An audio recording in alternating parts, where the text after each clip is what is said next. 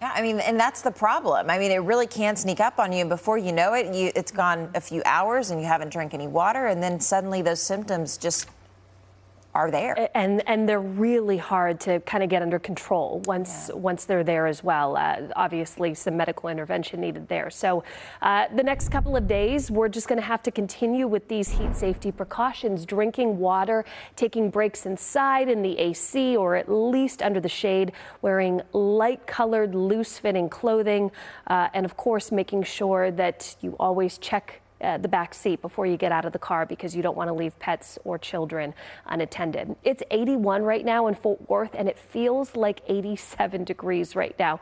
We haven't gotten much of a break from the heat index here uh, in the last couple of hours. Now, looking over the 9 and 10 o'clock hour, at that point you can already start to see temperatures into the mid and upper 80s. Feels like temperatures into the triple digits, maybe as early as 10 o'clock this morning.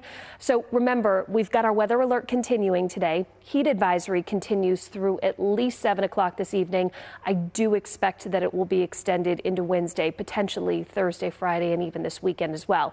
That advisory from yesterday, it's been expanded to the west of 35, which we were expecting. Feels like temperatures today could be as high as 109 degrees. So remember, Along into the east of 35, you were already under the heat advisory yesterday. To the west of 35, basically to the west of this black line here, you will now be included in the heat advisory this afternoon, which means all of North Texas, we need to be taking these heat precautions as we go particularly uh, into the afternoon hours when the heat is going to be the worst. So we've got sunny skies this afternoon, partly cloudy skies, temperatures topping out near 100. Those feels like temperatures as high as 109 degrees.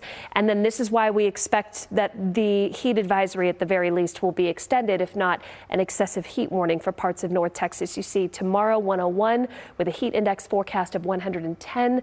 Thursday and Friday, those heat index values forecast at 108 degrees. Now, we do have very low rain chances tomorrow into tomorrow night, but temperatures remaining in the upper 90s and triple digits as we head towards July 1st, which is next Monday.